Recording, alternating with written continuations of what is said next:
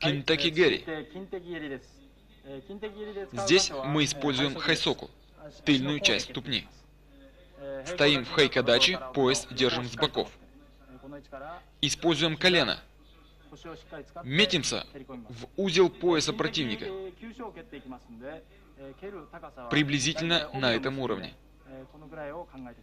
Не нужно бить не слишком высоко, не слишком низко. Как и в других упражнениях, после удара нога сразу возвращается. Так как мы делаем упражнения обеими ногами, движения должны быть быстрыми и точными. Если забыть про линию и отклониться в бок, то невозможно попасть точно. Удары будут попадать по бедрам.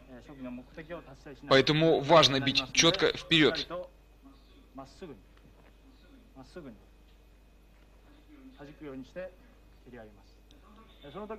Как я объяснял в Хизагире, избегайте вот таких движений коленями и поясницей.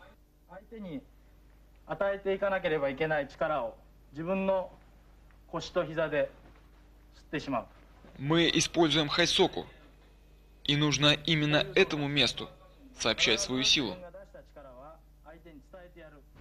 伝えてやるように 使う箇所にこの場合は背側ですが背側にスムースに自分の出した力が乗るように意識して動作をしてください。